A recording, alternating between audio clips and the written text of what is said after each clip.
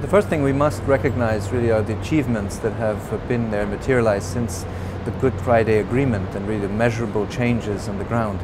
And in parallel, we see a number of residual elements of, of violence that continue to affect daily life and whose humanitarian consequences are a matter of concern to the ICRC. I think here of the impact of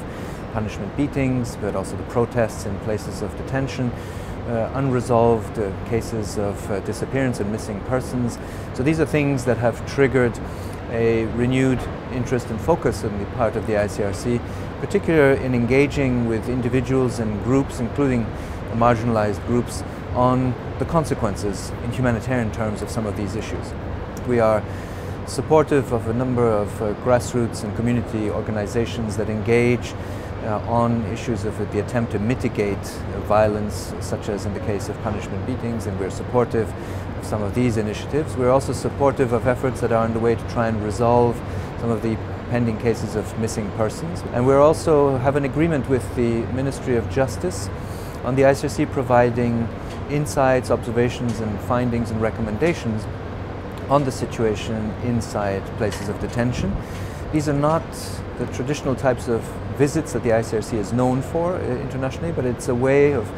collecting elements from a variety of individuals and groups that are related to prison regimes uh, in order to formulate recommendations and observations that can be helpful in addressing some of the more problematic aspects of it. And finally, we're of course also supportive of the work of the British Red Cross in terms of youth and education, but also of their wider role in Northern Ireland. Uh, this phase of our engagement in Northern Ireland, we're in an early stage, but certainly what is clear is that the ICRC is imperative in humanitarian terms. The way in which we approach a situation, the neutrality, the independence of it, the fact that we can engage across a wide spectrum of individuals and groups to try and provide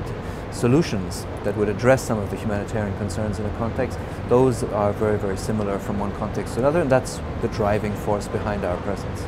I'm absolutely convinced that the ICRC is an organization that learns from practice. So we are confronted with very different realities in different parts of the world that we operate, and Northern Ireland will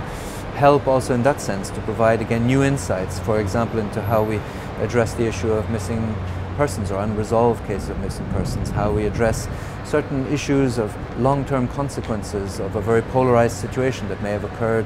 in the 70s, 80s, and that we see now having ongoing impact in, in certain forms, and that we can help address some of these issues on one hand, but also draw lessons for ourselves is absolutely something that will take place also here.